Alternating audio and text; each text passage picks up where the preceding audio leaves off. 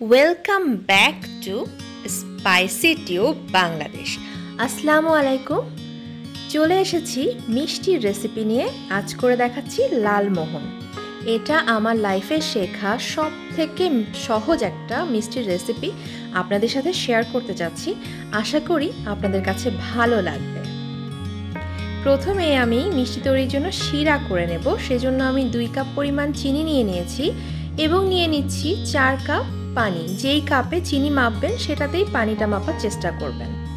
এখানে আমি তিনটা এলাচ এখন দিয়ে দিচ্ছি এবং এটাকে আমি ভালো করে জাল করে একদম চিনিটা গলে যাওয়া পর্যন্ত জাল করে নেব। এখানে এক তার, দু তারের কোনো চিনি সিরাপ তৈরি করব না। ব্যাস, হয়ে গেছে। এখন এটা একটা সাইডে রেখে দিচ্ছি এবং মিষ্টিটা আমরা তৈরি করে নিচ্ছি। মিষ্টি তৈরি করতে প্রথমেই নিচ্ছি এক কাপ পরিমাণ পাউডার মিল্ক ভালো কোয়ালিটির পাউডার মিল্ক নেওয়ার চেষ্টা করবেন, তাহলে মিষ্টিটা বেশি ভালো হবে। আর চার টেবিল চামচ পরিমাণ নিচ্ছি ময়দা। কখনোই আটা দিতে যাবেন না। এখানে নিচ্ছি আমি এক চা চামচ পরিমাণ বেকিং পাউডার আর নিচ্ছি এক চা চামচ পরিমাণ চিনি। আমি আসলে ব্রাউন সুগারটা ইউজ করি সেই জন্য একটু লালচে কালার দেখা যায়। আপনারা যে কোনো চিনি ইউজ করতে পারেন। একটা ডিম দিয়ে দিলাম এবং দিয়ে দিলাম এক চামচ পরিমাণ তেল। এখন তেলের জায়গায় আপনারা ঘিটাও ইউজ করতে পারেন। এখানে আমার লাগছে দুই চা চামচ পরিমাণ লিকুইড মিল্ক যেটা আমি একবার ইউজ করব না, একটু একটু করে মেশাবো। আসলে এই লিকুইড মিল্কটা ডিপেন্ড করবে ডিমের সাইজের উপর। কখনো কখনো ডিমের সাইজটা এত মানে এত বড় ডিমটা থাকে যে লিকুইড মিল্ক এক চামচ দিলেই যথেষ্ট হয়। এটাকে 10 মিনিটের জন্য রেস্ট করছি। এবার এটাকে ছোট্ট ছোট্ট গোল করে নেব। সেই জন্য অবশ্যই যেই পাত্রে এটা রাখবেন সেটাতে তেল মাখিয়ে নিতে হবে এবং নিজের হাতেও তেল মাখাতে হবে এবং হাতটা অবশ্যই ভালো করে ধুয়ে নিতে হবে। তো এখানে আমি এই রকম ছোট ছোট পরিমাণ একদম এক ইঞ্চি মতো ছোট ছোট আপনাদের হাতের তালু দিয়ে আপনারা ছোট ছোট করে গোল করবেন। কারণ এটা ভাজার পরে একটু ফুলে যাবে। এবং চিনি শিরাতে দেওয়ার পরে আরও খানিকটা ফুলে যাবে।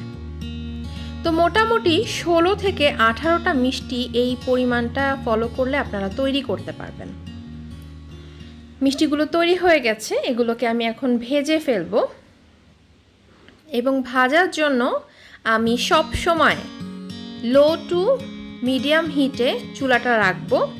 এবং যে জন্য আমি ছোট্ট একটা প্যান নিয়েছি, দেখুন মাত্র এক বিঘা পরিমাণ মানে আমার হাতের এত ছোট সাইজের একটা প্যান নিয়েছি, কারণ তেলগুলো কিন্তু পরবর্তীতে নষ্ট হয়, এগুলো দিয়ে আর তেমন কিছু করা যায় না এবং এইখানে মোটামুটি ঠান্ডা তেলের ভেতরেই আমি এটা ছেড়ে দিচ্ছি, কারণ এটা আস্তে আস্তে সময় নিয়ে ভাজতে হবে।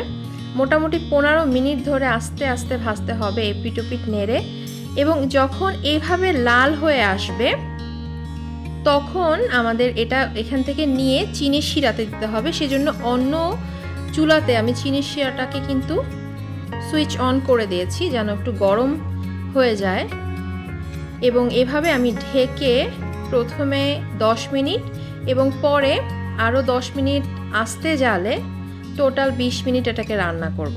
বাকি মিষ্টিগুলো করে নিচ্ছি। দেখুন কেমন বলক চলে এসেছে এবং মিষ্টিগুলো বেশ খানিকটা ফুলে গেছে। সব মিষ্টিগুলো একবারে দিয়ে আমি এখন 10 মিনিটের জন্য একটু ঢেকে দিচ্ছি। এবং ফিরে আসলাম। দেখুন কতটা সফট হয়েছে, একদম দোকানের কালোজাম মিষ্টির মতোই মনে হচ্ছে। এটা আসলে টেস্ট করলে আপনারা বুঝতেই পারবেন না, এটা গুঁড়া দুধ দিয়ে বানানো, মনে হবে যে এটা ছানার মিষ্টি। তাহলে কেমন লাগল আজকে আমার এই রেসিপিটি ভালো লাগলে অবশ্যই চ্যানেলটি সাবস্ক্রাইব করে নেবেন। আল্লাহ হাফেজ!